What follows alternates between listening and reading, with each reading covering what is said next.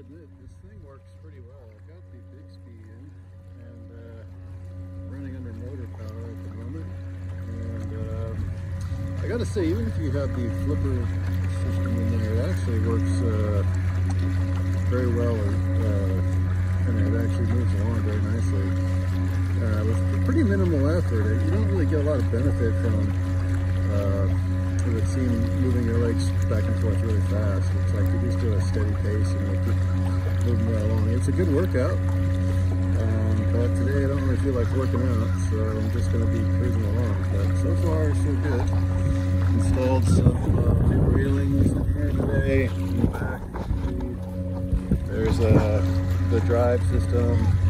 Um, the motor is really nice, but unfortunately you have to be kind of stealth with it.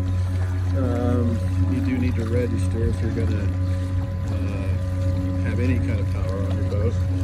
But uh, this is the way to do it, I'm to say. So, anyways, it's a pretty good purchase if you ask me because it's pretty inexpensive way to get out on the water.